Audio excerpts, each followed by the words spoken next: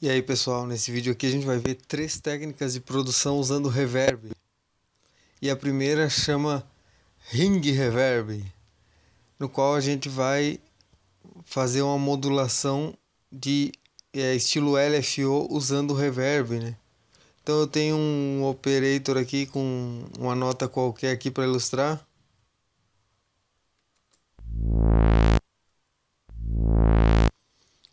E a gente vai puxar aqui o reverb.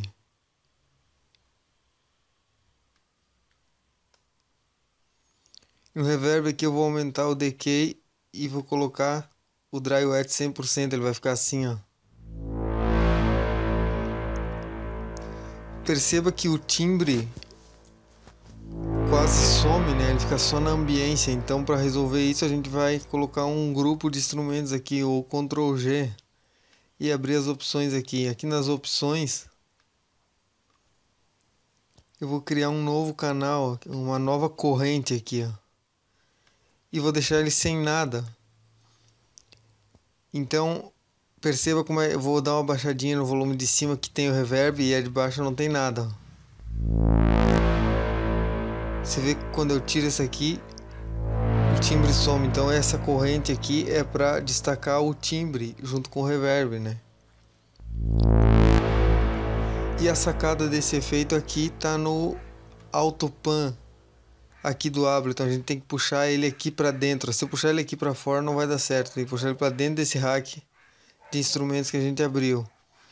E aqui a gente só desce o phase e põe uma malte no máximo. Então ele fica assim, ó.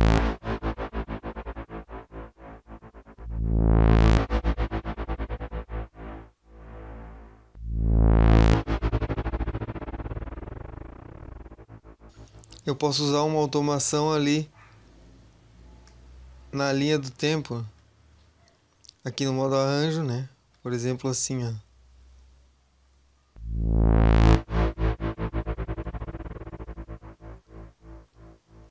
Bem, a segunda técnica é uma subida com reverb, né? Então eu tenho aqui um vocal aleatório que é para ilustrar que eu vou usar para esse para esse exemplo. Então ele vai fazer esse vocal vir, ele vir subindo, né, até começar a linha do vocal. Então ele vai criar uma nova uma nova track de áudio aqui e pegar um pedaço do começo aqui e recortar. Eu vou dar um mute nesse de cima. E esse aqui a gente vai reverter. Vou inverter ele. E nessa pista aqui eu vou puxar um reverb. E aqui no reverb eu vou aumentar o decay e o dry wet, mais ou menos por aqui.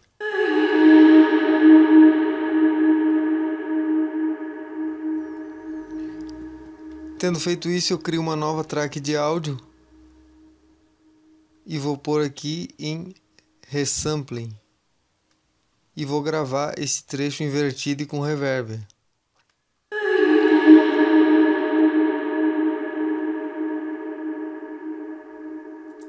Certo.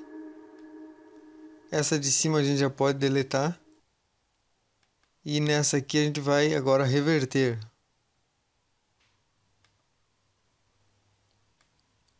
E agora aqui é só sincronizar aqui com o começo.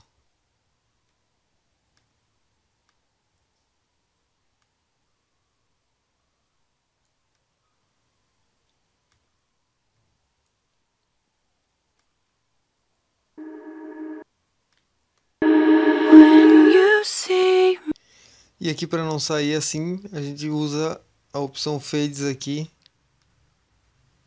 e dá uma uma tirada, então fica assim, ó.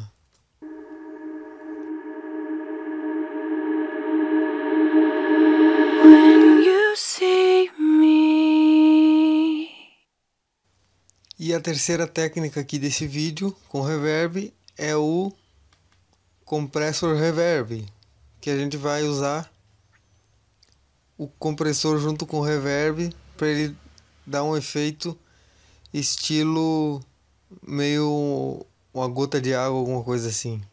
Então vamos ver aqui, ó. Eu tenho esse teminha aqui.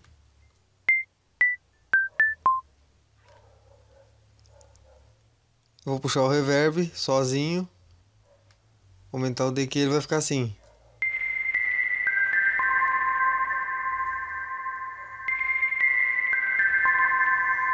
Então agora eu puxo o compressor. E a ideia é colocar um ataque lento e um release rápido. Então vou, vamos colocar um ataque lento e um release mais rápido. Vou aumentar o rate aqui para 4.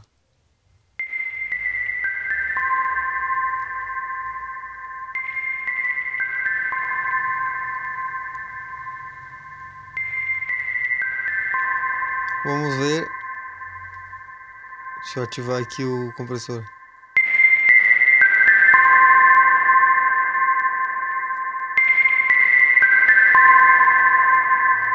Sem reverb, sem o compressor. Com o compressor.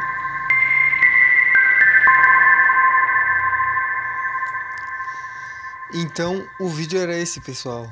Espero que vocês tenham gostado. Se você gostou, deixa um comentário aí, inscreva-se no canal, deixa uma sugestão, uma crítica.